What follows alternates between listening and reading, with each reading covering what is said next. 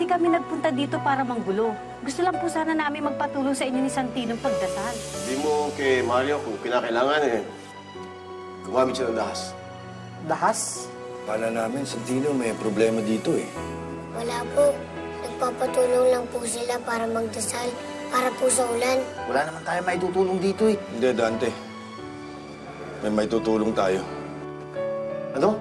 Kuya, kung ayaw mo maungusan, I suggest pumunta ka dito ngayon na.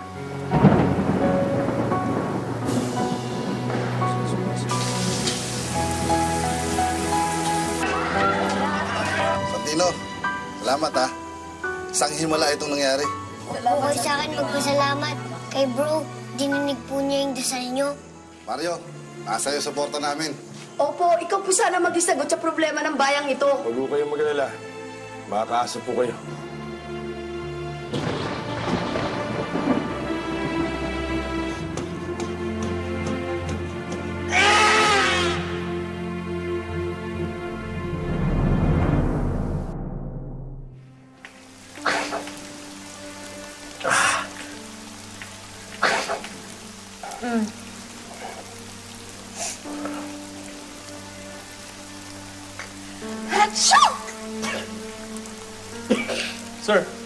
Tawag niyo po.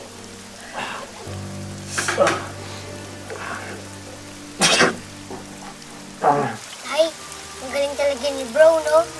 Kaya nga mahal na mahal natin siya eh, di ba? Sigurado po, di na mahihirapan yung mga tao. Kasi tumubo na yung mga talim ng mga magsasaka. Tapos yung mga tao, makakainom na. Um, anak, hindi na sila mahihirapan masyado. Pero may konti pa rin. Na kasi ganito yun eh. Kunwari, yung mga tanim ng magsasaka, ngayon bumuhos na yung ulan. Siyempre, pwede na sila magtanim ulit. Pero ilang buwan pa rin ang kailangan para tumubo yung mga tanim nila, para maging palay. Po, ang ibig niyo pong sabihin, di pa rin sila okay hanggang bukas? Hindi anak eh. Ganun talaga eh. Wala na tayong magagawa doon. Pero yung man lang ulan at pagtatapos nung uh, tagtuyot, eh alam mo, anak, dapat natin pagpasalamat yun eh. Malaking bagay na yun. Pero tay, sabi ni bro, matatapos din po yung paghihirap ng mga tao dahil sa tagtuyot. Naniniwala po ako doon. Naniniwala po ako na makakakain na sila bukas. Kasi yun po yung sabi ni bro eh.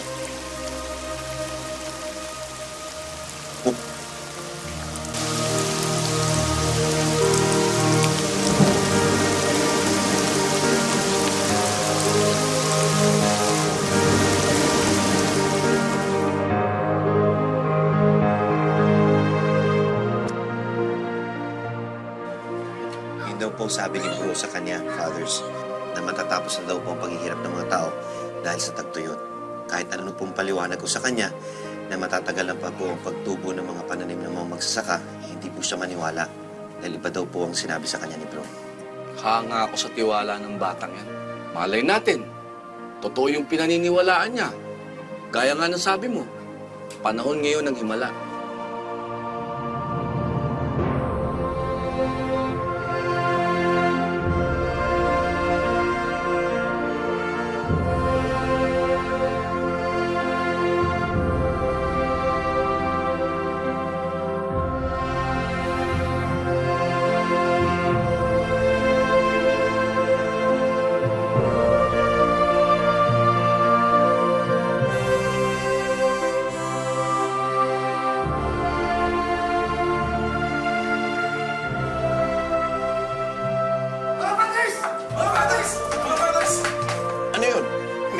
May himala na naman po nangyari.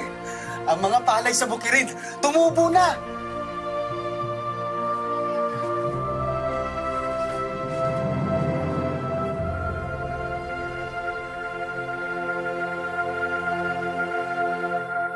Naku, baby, sana andun kayo. Nakakapangilabot nung umulan. Abay, talaga nakakapangilabot yan kapag kayo ay nabasa at naulanan. Dahil malamang lilindol. Naku naman ato ha, seryoso kami ha. Talagang isang himala yung nangyari. Akalain mo ba naman, nagdasal lang yung mga tao kasama si Santino, abay umulan na. At alam niyo ba, kung sino ang kasama ng mga tao para magdasal, para umulan, Si Mario! Hindi si Mayor, si Mario! Aba, sweetheart, natututo na si Mario. Marunong na siyang lumaro sa politika.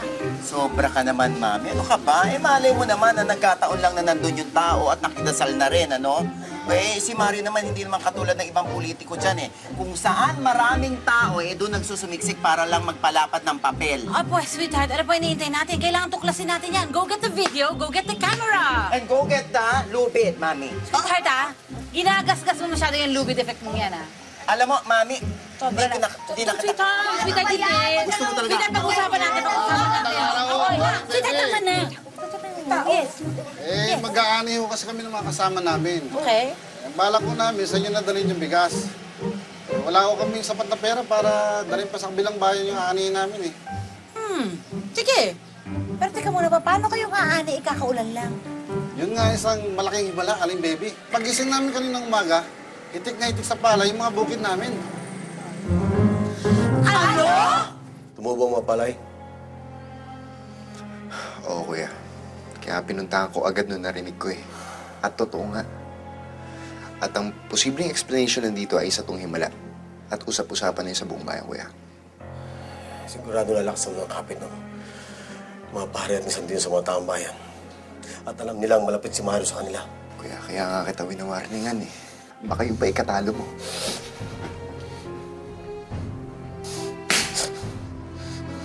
Paano mo lalabanan isang taong kakampi ng Diyos? Paano?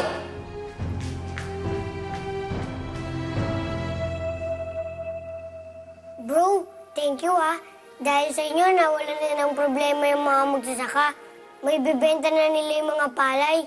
Hindi na sila magugutom. Pati yung mga anak nila. Thank you, bro, ha?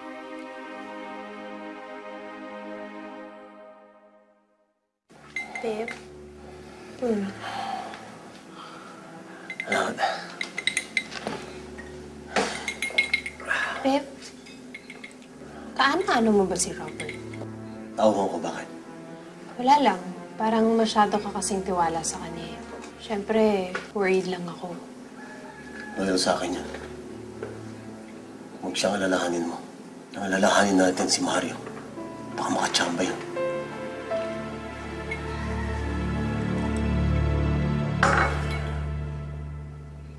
Hoy, mami! Psst! Mami! Sweetheart! Ano naman ginagawa mo? Nagpapataya ka na rin ba ng weteng? Shh, paano man sandali? Sandali, gumagawa lang akong survey, sweetheart. Survey? Sweetheart, sinecheck ko lang ang popularity ratings ni Mario at saka ni Mayor. Para malaman natin kung sinong malamang na manalo. Pero alam mo, sweetheart, sa dami ng mga himalang nangyayari, malamang manalo si Mario. Alam mo bakit? Bakit? Malapit siya sa monasteryo, pati kay Santino. Oh, Yes. talaga lang, mami, ha? Yan ba talaga lumalabas sa survey mo? Ah, Patingin. Tingnan mo. Wala na kayo matawag dyan. Wala akong masabi, mami. Landslide victory pag nagkataon ito. Yan ang sinasabi ko sa'yo, sweetheart. Pero ha, hindi pa to conclusive. I need more respondents, okay? So wait lang. Ma manong, manong, manong. halika. Tapos biglang umulan. Oo, biglang gumala. Hindi rin ako makapaniwala doon. Ka ba niniwala doon? O, kita mo naman, di ba? O, kita mo nangyari, di ba? Ha? Oh, Ay, morning. masama na bigla yung ano. Di ba? Mayor, Ano nangyayari dyan? pinag-uusapan nila, Mayor, yung himalang nangyari kagabi. Anong himala? Pati ba naman ikaw niniwala sa makalokohan na yan? Happy naman. Eh, Mayor, sila ang may sabi noon. Naghimala raw si Santino. Sa kanila galing yun, hindi sa akin, Mayor.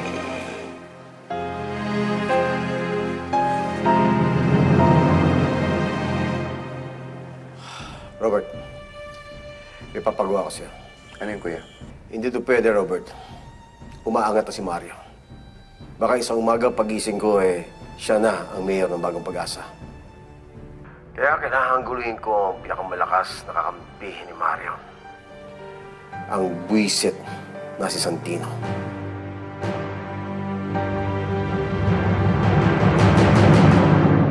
Masaya ako mga fathers, Kokoy. Tila nagmamature na ang pagtingin ng mga tao tungkol sa himala.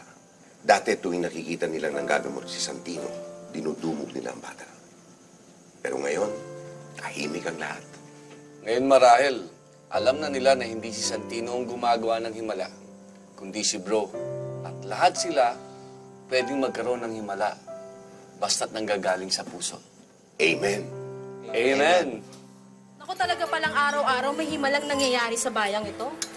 Abay, doon pa lang sa ulan, eh, duda na ako. Pero nung napuno ng palay yung bukid, aba, hindi na tsamba yun. Nako, kung hindi nakita ng mga mata ko, hindi ako maniniwala. Punong-puno ng palay ang bukid samantalang nadaan ako kahapon, tuyong-tuyo ang lupa. Aba, iba't klase na talaga yung si Santino, ano? Ibang klase nga. Wala namang pakinabang. Oh, eh ano naman ang ibig mong sabihin doon? Hindi pa papakinabang yun na biglang umulan, eh samantalang kahapon tagtuyog? Eh, di ba nanggagamot si Santino? Hindi niya tayo gamutin. Pagkakataon na natin makakuha ng libreng gamot, doktor, ospital. At kasi tinatago ng mga pare yang si Santino.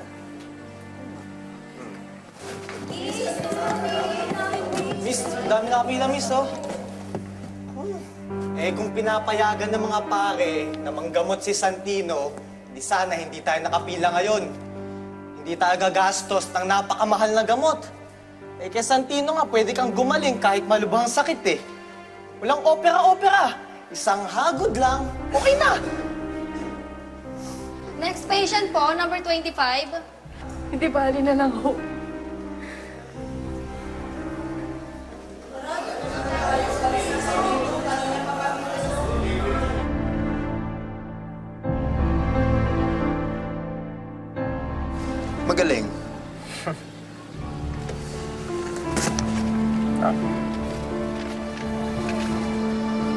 Salamat, boss.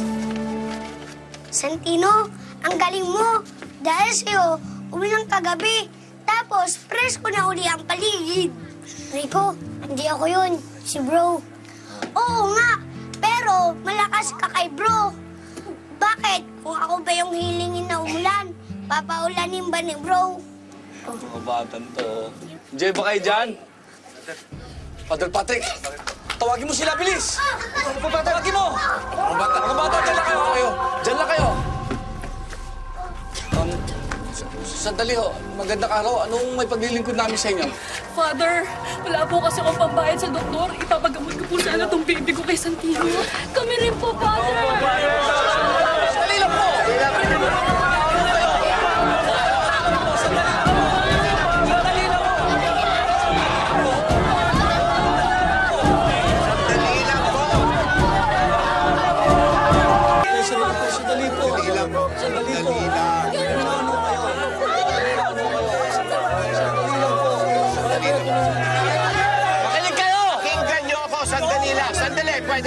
pwede, oh, pwede, sandali lang. Hindi na muna namin pinanggagamot si Santino dahil naaabuso ang katawan ng bata. Father, kung hindi po ako desperado, hindi ako pupunta dito. Kanina po sa clinic, nagbaka sakali lang ako, pero wala akong pambayad sa doktor.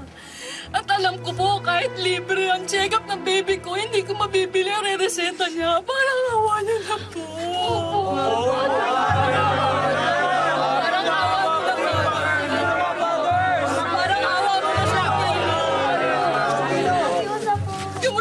anak ko, iligtas mo siya. Parang awa mo na sa akin. Kinukubulso ng anak ko. Sige na po, gagamutin ko po sila.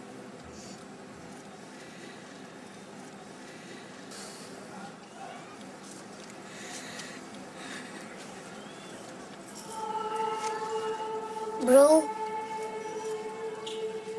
pagalingin mo po siya. Kayo na po ang bahala sa kanya. Baby pa lang po siya. Nahihirapan na po siya.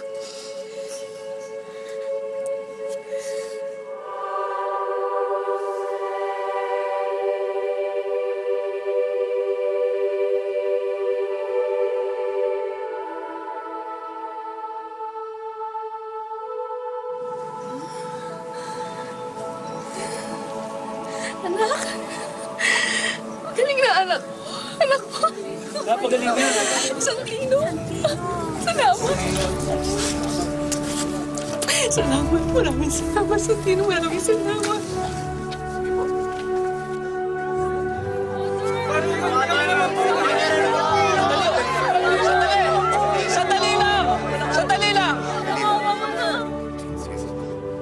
Gusto niyong magamot kayo? Pumila kayo maayos.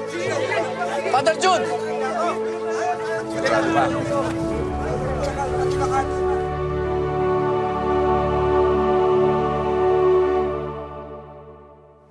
Okay na kuya. Nakaset na lahat. Sir, Oh, maraming tao na naman daw sa ministeryo. ano na namang gulo yun? Eh, sir, nagpapagamot kay Santino. Pero yung bata dinudumog na ng tao.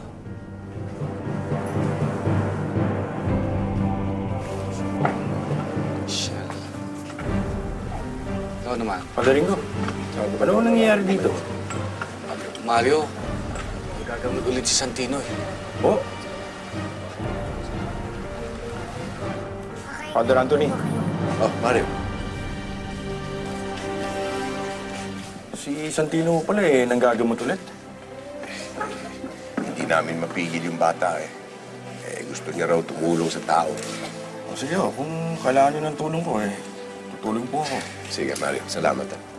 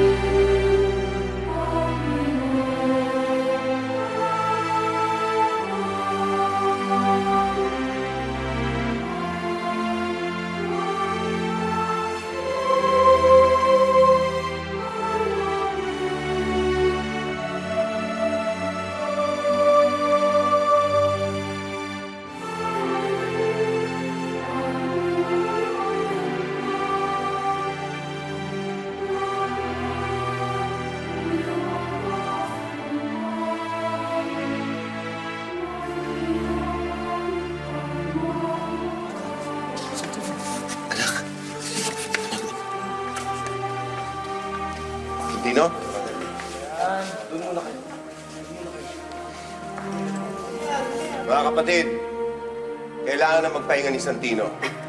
Tatapusin ko na muna itong gamutan to. Father, di pwede yan. Kanina pa kami nag-aantay, oh. Di na kami makapag-antay pa.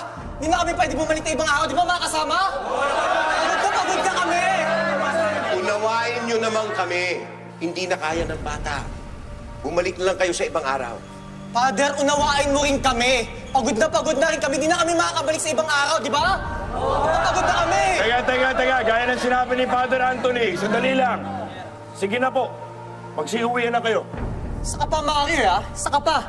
Kala ko ba nauunawaan mo kami? Tatakbo ka, Mayor, di ba? Dapat naiintindihan mo ang nararamdaman namin. Unawain mo naman kami. Di ba mga kasama? Nauunawaan ko kayo. Pero nakikita mo ba yung bata? Pagod na. Sige na. Umuwi na kayo lahat. Sige na. Woo! Di kita boboto! Plastic!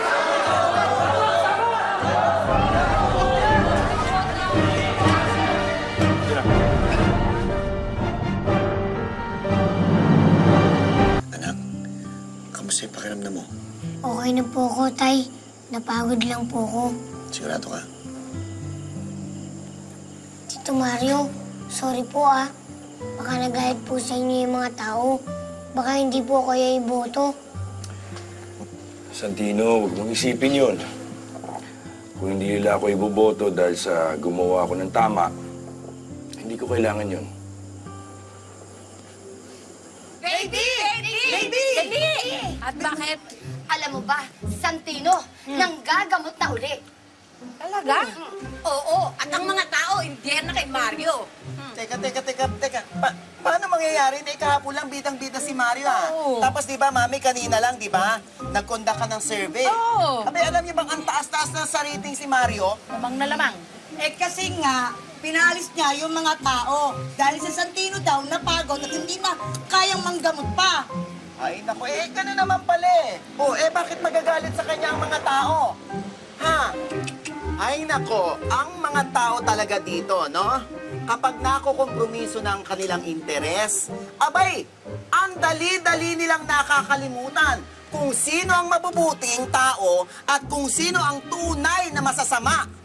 Kung sino ang kailangang iboto at kung sino ang walang karapatang iboto.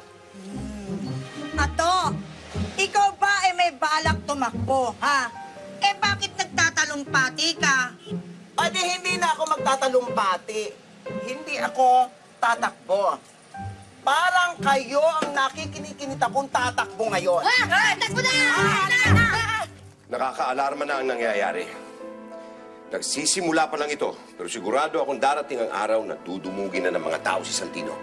Father Anthony, huwag po kayong mag-alala. Nag-request po ako kay Hepe na dito muna ako para makapagbantay. Mario, tingin mo ba wise na gawin yon? Tingnan mo nga yung nangyari kanina. Nagalit yung mga pasyente nang hindi magamot ni Santino. Father, kung tungkol yun sa pagtakbo ko, wala pong kaso sa akin yun. Ang importante po ay maprotektahan ko si Santino.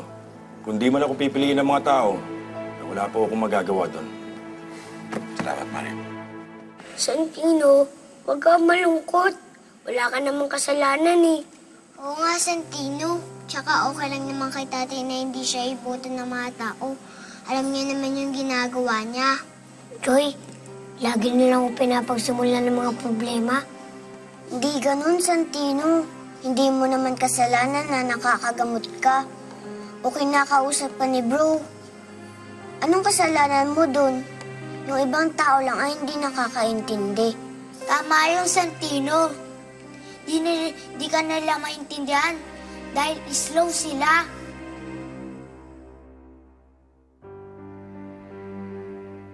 Ngayon, Mario, ako naman.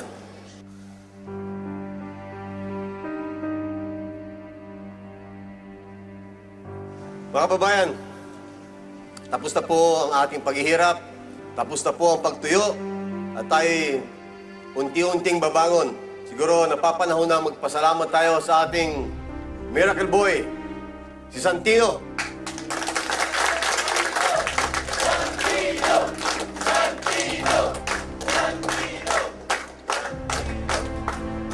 Siguro po mga kababayan, talagang ito ay panahon ng mga himala. Isa ako sa mga naniniwala sa himala. Nakakalungkot lang isipin minsan na marami tayong kababayan dahil sa kahirapan na hindi malang makabili ng gamot o hindi kayang kumuha ng doktor para sila'y gamutin. Pero ako po'y nagkaroon ng pag-asa nung nakita ko ang mga ipinamalas na himala ni Santino. Mga kababayan, narito po ang sagot. Nasa monasteryo ang ating sagot. Naroon po si Santino. Mga kababayan, si Santino po ay sugo ng Diyos. Ang batang pinadala sa atin para lugtasin ang ating mga problema. Tayo po ay magpasalamat sa ating miracle boy, si Santino. Palakpakan po natin.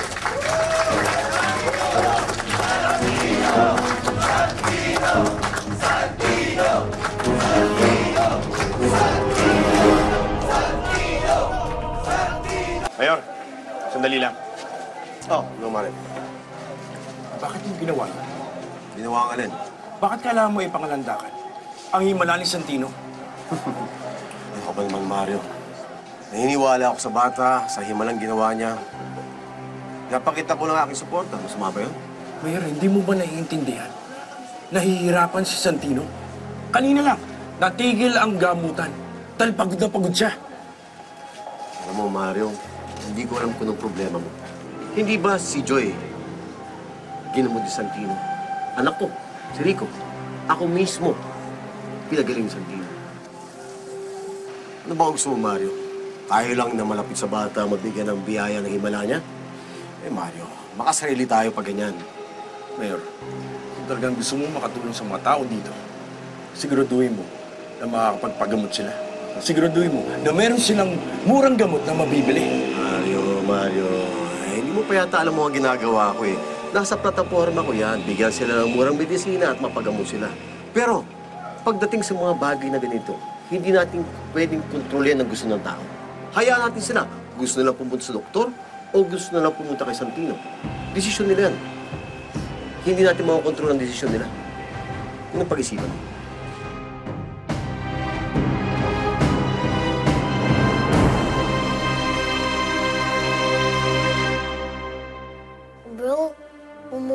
pumupunta po ulit sa akin yung mga tao para magpagamot. Gusto ko sana, bro. Pero, hindi ko po na kaya eh. Sana po, maintindihan nila pag pagod na ako. Kasi po, nagagalit sila sa akin eh. Santino, sadyang napakadaling lumimot ng mga tao. Sa isang iglap, ang kabutihang ginawa para sa kanila ay maaari nilang makalimutan. Bro, ano po ba yung dapat kong gawin? Natatakot po ako eh. Kasi baka madamay na naman ng mga fathers. Santino, maraming sakripisyo ang kailangan para sa mga taong mahal natin. Lalo na sa mga panahon ng kalituhan at kawalan ng tiwala. Kuya, galit na galit sa'yo si Mario. He should be. Pero patikim lang yan. Mas lalo siya dapat magalit kapag nakita niya ang ginagawa ko.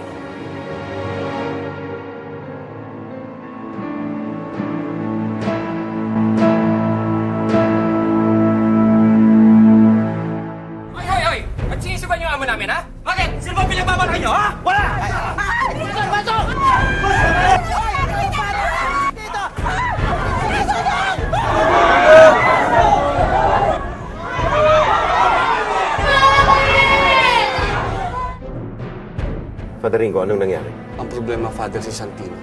Bakit? May problema kay Santino?